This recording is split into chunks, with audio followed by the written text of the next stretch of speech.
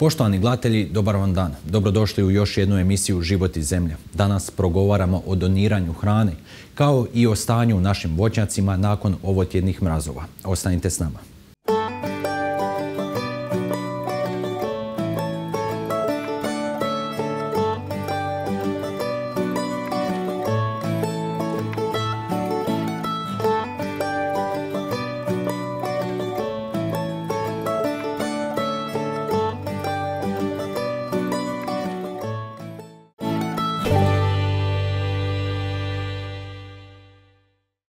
Voćnjaci su ovih dana u punom cvatu. Novotjedni snijeg te izrazito niske temperature, posebno u noći i ranim jutarnjim satima, našim voćarima donijeli su samo brige. Kakvo je stanje u nasadima, te hoće li biti šteta, naša ekipa provjerila je kod obitelji Radičević iz Magić Male, a koja se bavi uzgojem šljiva i krušaka. Sve je dobro krenulo. Nasad šljiva kod voćara Darka Radičevića iz Magić Male odlično je procvjetao, no sada su ostale samo brige. Jako teško, jako teško. Jučer smo imali cijeli dan hladno. Snijeg nam je padao, temperatura 1, 0, tu negdje se vrtilo i onda nam je noćas došao ovaj teški mraz. Ja mislim da će od ovog voća biti jako malo. Mlad je to nasad sorte čačanke rodne u petoj, šestoj godini starosti. Prošle godine očekivalo se 5 do 6 tona prinosa, ali i tada je mraz učinio svoje, te su nabrali svega 200 kg. Druga je ovo godina za redom koja im donosi samo probleme. Ove godine trebalo biti barem 10-12 tona, sigurno. Kako je cvijet ponio, kako su kruški šljivice razvijene, moglo se očekivati barem 10 tona, međutim sad na ovo ovog mraza bit će valjda za pojesti i za pekmes. Nažalost, druga godina za redom sa velikim posljedicama mraza. Biće jako gadno bit će jako gadno, tako da kako ćemo sve preživjeti, ne znam. Biće teško. Srećom pa sam platio osiguranje za dva hektara krušaka i ovaj hektar šljiva. Osigurač će nam nešto malo nadoknaditi, ali daleko je to od onoga što smo mi trebali dobiti kroz naš urod. O točnim procjenama štete još uvijek je rano govoriti. Ipak Darko se nada da ona neće biti 100%. Na ovoj šljivi sav cvijet koji je procjetao, od njega ne očekujem puno. Međutim, nekakvu nadu mi daju ovakvi pupovi koji su još uvijek zatvoreni. Možda tih pupova preživo i kažem budemo imali za pekmes. Nešto šljivo malo za pojest, ali ovo sve što je otvoreno, ovaj čas se još ne vidi, mraz je bio noćas. Dajte mu dan, dva i on će pokazati koliko je smrznut, koliko je pocrnao tučak, pa ćemo moći detaljnije pričati o nastaloj šteti. U šljivu Darko uzgaja na 3 hektara i krušku Viljamovku u 20 godina starom nasadu koji je u dobroj kondiciji stanje nešto bolje. Manje je bilo otvorenog cvijeta pa se i nada da će se tu nešto i ubrati. Nasad kad je u punom rodu morao bi dati 25 do 30 tona po hektaru. To bi trebao dati. Međutim uvijek bude problema. Bude problema. Prošle godine nam je bio takav mraz. Samo ovaj voćnjak tu je hektar jedan, nabrao sam neki desetak tona. Poslije onakvih strašnih mrazeva. Na drugom i trećem hektaru koji sam imao, na dva hektara ukupno nabrao sam sedam tona. Toliko me se mraz proredio. Dakle, od očekivanih nekih 60 tona, ja sam nabrao 17 tona kruške. I šta više da vam pričam. Klima se mijenja. Prošla godina meteorološki je bila vrlo nepredvidiva. U sedam situacija župan je proglašavao stanje elementarne nepogode. Županijska, općinska i gradska povjerenstva proglasila su ukupnu štetu na nešto više od 50 milijuna kuna. Za sanaciju istih vlada je osigurala na području Brodsko-Posavske županije nešto više od milijun kuna. Stoga je prevencija nepogoda poput mraza ključna. Jedna od metoda je paljenje vatre. Vatra i dim pomažu ono kad je mraz na granici, da li se hoće smrzniti, neće hodati, onda vatra možda malo prevagne da se ne smrzne. Barem da se smanji šteta od mraza. Međutim, kad je ovako mraz, kad je pušen nam vjetar, to malo što zapali, to odnese vjetar. Palimo vatru, dole trava zaleđena. Gore se inje na granama hvata. Kakvog to smisla ima? Ja u to ne vjerujem. Ono što smo razgovarali prije sad ovog snimanja, Možda vatra može pomoći ako su manji minusi ili ako je oko nule, ali ako dođe e, deblji minus, tu apsolutno nema pomoći. Pa ne vjerujem. U, kažem, kad je na samoj granici smrzavanja možda vatra malo pomogne. ali kad je nešto ozbiljnije, onda ne. Druga opcija je kišenje. Ovi sustavi su skupi, a Darko ističe i drugi problem kada se priča o ovoj metodi zaštite. Ti sistemi su relativno skupi, još veći je problem skopat bunar, jer za taj sistem za jedan hektar trebate 10 litara vode u jednoj sekundi. To je 36 kubika vode za jedan sat. Morate raditi barem 10 sati, 360 kubika za jedan hektar. Mi takvih bunara ovdje na ovom području nemamo.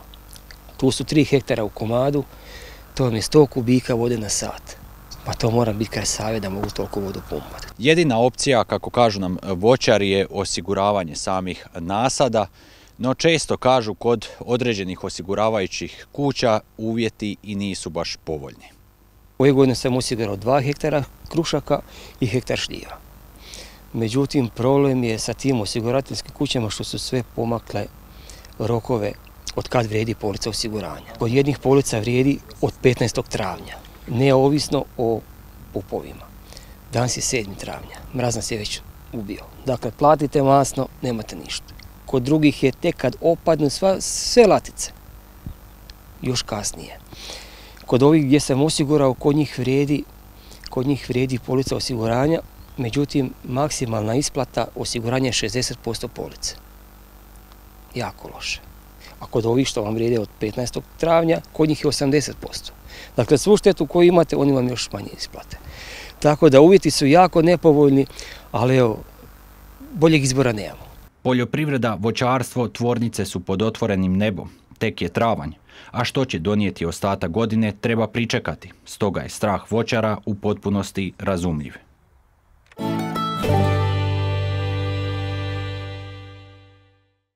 Ministarstvo poljoprivrede sklopilo je temeljem provedenog postupka javne nabave ugovor o nabavi stočne hrane za potresom pogođena područja u ukupnoj vrijednosti od 1,3 milijuna kuna s tvornicom stočne hrane DD iz Čakovca. Isporuka je već krenula i to u skladišta u Petrinji i Glini. Ugovor je proveden temeljem odluke vlade Republike Hrvatske kojom je dala suglasnost Ministarstvu poljoprivrede za poduzimanjem izvanrednih mjera pomoći za ublažavanje šteta od potresa koja uključuje nabavu 621 tone hrane čime će se osigurati hranitba 1800 grla goveda, 3500 svinja, 500 ovaca i koza, 10.000 komada peradi i 1000 konja. Do sad je u skladišta stočne hrane zaprimljeno 1421 tona hrane, od čega je 1393 tone razdijeljeno poljoprivrednicima u potrebi na potresom pogođenim područjima.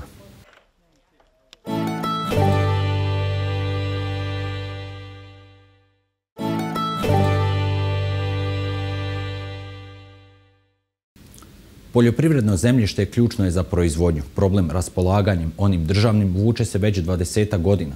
Stoga ne čudi da se poljoprivrednici snalaze na razno razne načine da dođu do prijeko potrebne zemlje, a sve kako bi nastavili i proširili svoju proizvodnju. Mehanizacija i oprema se pripremaju, traktori se zagrijavaju.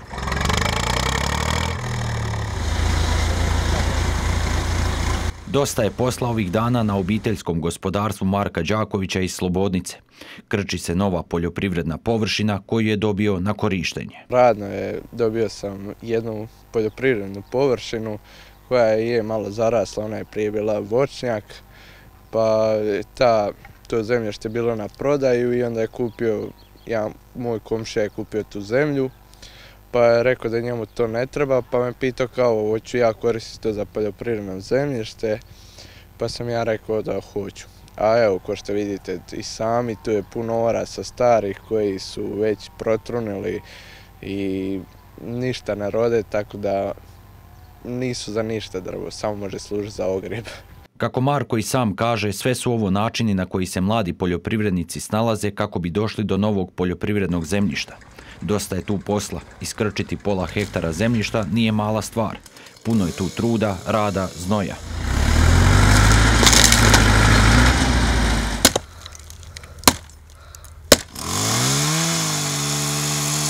Ono što voliš i nije ti naporno raditi, a krčenje će trajati otprilike oko tjedan dana, jer tu su orasi, oni imaju svoje korijenje dugačko i debelo u jaku u zemlji i bit će čak će nam trebati malo veći strojevi da možemo iščupati s traktorima korijenje. Marko na svom gospodarstvu obrađuje oko 5 hektara površina. Uzgaja pretežno ratarske kulture, kukuruz, ječam. Nakon napornog i intenzivnog krčenja zapuštenog zemljišta, tu poslovi nestaju. Dosta se toga još treba napraviti da se parcela dovede u plodno stanje. Dugo će trajati vremena da se ovo korijenje pokida, to će biti malo veći traktor i malo veći plug da pokida to korijenje, iako kad se ono iskida, ono uvijek izlazi na površinu. Tako da će to trajati dvije do tri godine da se to korijenje skroz izvuče iz zemlje i da se dobro pripremi za sjetvu. Planira sijati žitarice i to zbog ušćeg sklopa. Poljoprivredno zemljište ključno je za uspješnu proizvodnju. Iako ga na području Slobodnice ima dosta, i to pretežito ratarskih površina, Marko ističe do nove zemlje nije lako doći. Stanje za naći poljoprivredno zemljište ne bi vjerovali jako je teško.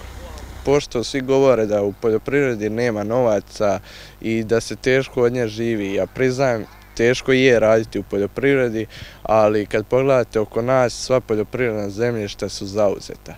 Tako da teško je jako doći u, selu e, do poljoprivrednog zemljišta, do obradive površine. A ove neobradive površine koje su ljudi, evo, ko što vidite i ova, ostala zarasla, znači ljudi se o tom uopće ne brine, a nekom bi ta zemlja dosta pomogla. Kao evo recimo meni ovo pola jutra, mislim to je za nekog malo, a za mene jako puno znači. A sve kako bi širio proizvodnju, površine su mu prijeko potrebne jer raditi i živjeti na svojoj zemlji i kako želi. To vam je lutrija na otvoreno. Jer vi da imate sad 100 hektara, da vam ovdje na jednom mjestu padne led, bude jak mrazi ili jaka oluja, vi nećete imati ništa i tu ste uvijek u minusu. A za neku veću, ajmo reći, za neke veće novce za koje bi mogli raditi, za koje bi ja barem mogao raditi, to je otprilike oko 15-20 hektara obradive površine da bi mogao preživjeti. Da bi došao do plodnih oranica, kaže, trebao bi prvenstveno gledati po okolnim mjestima, ali potencijalnu priliku vidi u fondovima Europske unije. U svakom slučaju to su jako dobre mjere za mlade, kao evo recimo što sam ja, jer uvijek ti treba neko koji će te pogurati. Jer ako ti nemaš početni kapital, ti ne možeš ni posijat, ne možeš baciti gnojivo, jer nemaš od čega kupiti. Tako da te mjere koje Europska unija daje za mlade su jako dobre, a ja se u budućnosti planiram prijaviti na jednu od tih mjera. Poljoprivreda kao sama iziskuje troškove, sjetva, zaštita, gnojidba. Sve se mora platiti. Još kada se uračuna i mehanizacija, traktori, financijski izdaci znaju biti poprilično veliki, a sve se mora pokriti. Mehanizacija je vaš kruh, ona nosi svoj trošak.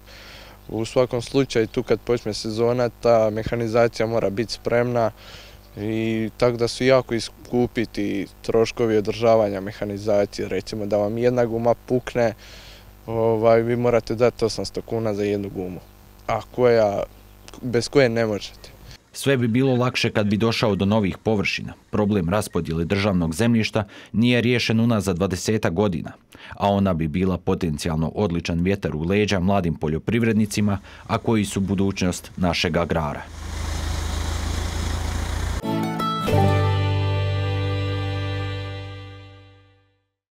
Doniranje hrane jedna je od najvažnijih mjera u suzbijanju nastanka njezinog otpada. Ministarstvo poljoprivrede aktivno provodi razne programe kako bi se podigla svijest javnosti o ovom problemu, a da su uspješni potvrđuju podaci za 2020. godinu.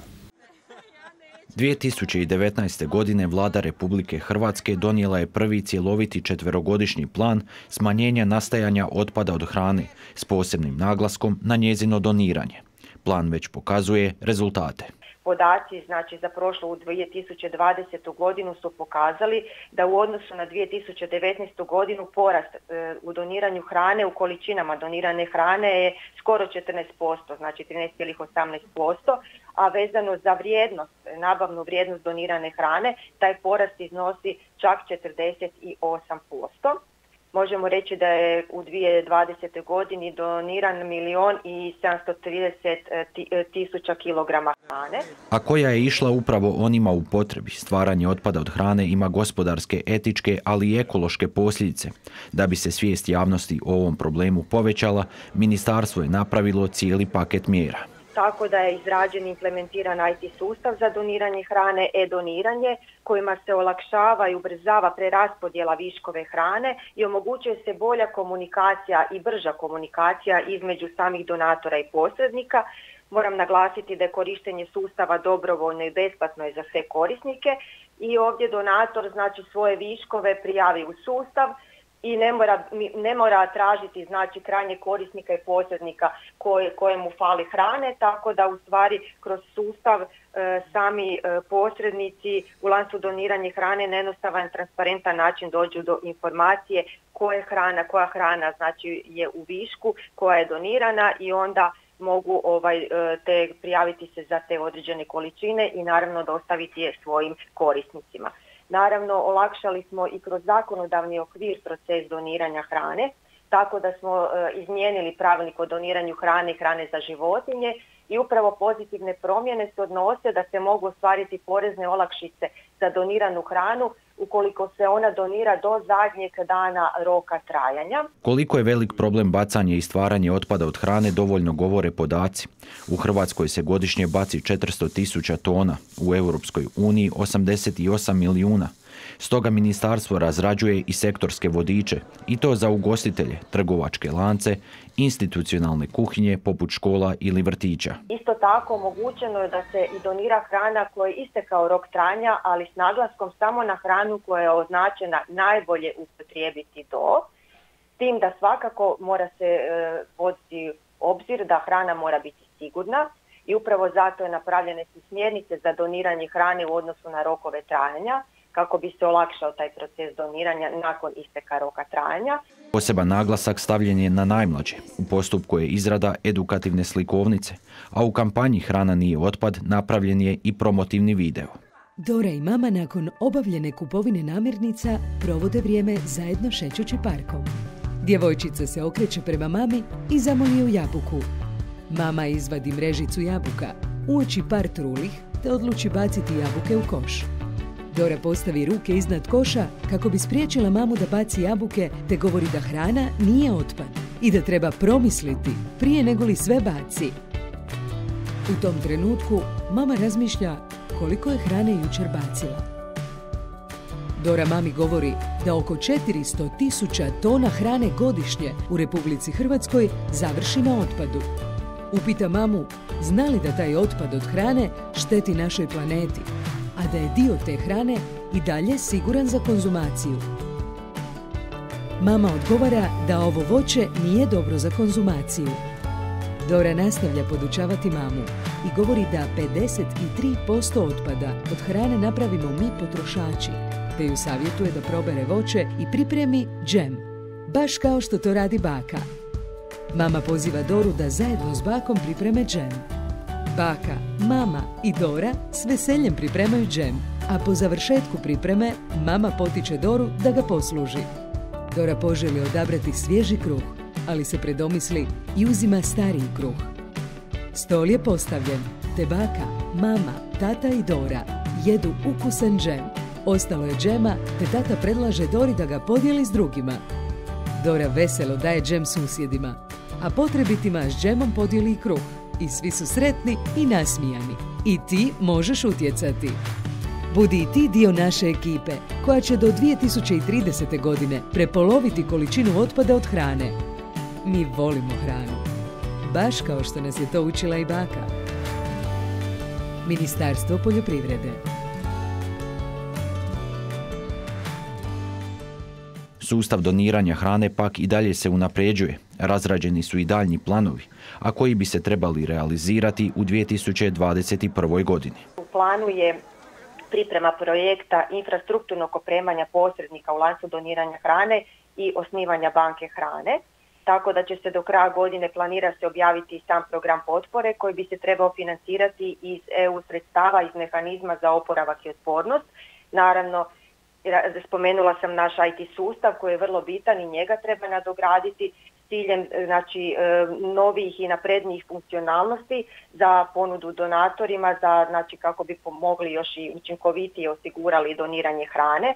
I naravno svakako treba raditi i na kampanji informiranosti i podizanja svijesti da ovaj, svih dionika znači da je hrana vrijedna, da se hrana ne smije bacati i upravo imamo takvu jednu kampanju pod nazivom Pojedi podijeli hrana nije otpad. Napravili smo jedan animirani film koji se može naći na našim mrežnim stranicama, koji je upravo usmjeren onako i mlađoj generaciji, gdje putem djevojčice Dore ona educira, možemo reći, svoje roditelje na koji način u stvari e, iskoristiti e, hranu da ne bude otpad, tako da evo vrlo, vrlo zgodno je i radit ćemo i dalje na svim e, informativnim edukacijama, podizanju svijesti.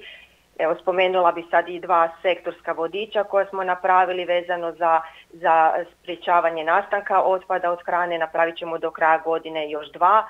Svakako sva, znači trebamo educirati djecu preškolske i školske dobi, napravili smo jednu edukativnu slikovnicu jer smatramo da svijest se gradi i, i baš od najmlađih nogu, tako da evo ulagat će se i u istraživački rad, inovativna rješenja za sprječavanje nastajanja otpada od hrane, tako da ovaj plan ima šest, šest znači bitnih ključnih mjera, pripadajuće aktivnosti koje nadam se uspješno odrađujemo i vidimo rezultate upravo u porastu doniranja hrane. Da bi se ovaj problem riješio, potrebna je suradnja svih u lancu nastanka hrane, od proizvođača do potrošača, a sve kako bi hrana završila tamo gdje joj je i mjesto, a to je na stolu.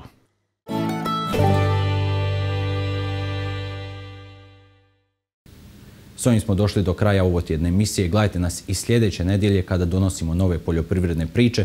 Svakako ostanite uz naš program. Doviđenja.